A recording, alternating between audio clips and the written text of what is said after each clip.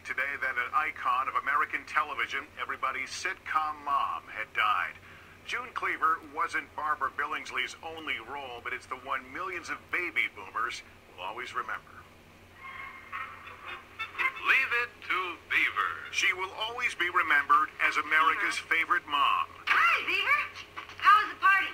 As June Cleaver, the kind and caring stay-at-home mom to a pair of precocious boys on Leave It to Beaver, Barbara Billingsley was a perfect fit. Her own two sons said she was pretty much the image of Mrs. Cleaver in real life.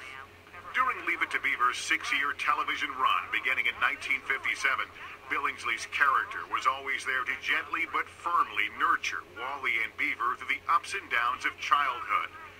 Billingsley began acting when she herself was just a child, and her TV career spanned five decades. Oh, stewardess. I speak jive. After to Beaver, Billingsley resurfaced in 1980 in a hilarious cameo as an elderly passenger in the comedy satire Airplane. Jump to one and a half. Jump. Don't get dickhead. Billingsley and the Leave It to Beaver cast reunited numerous times over the years.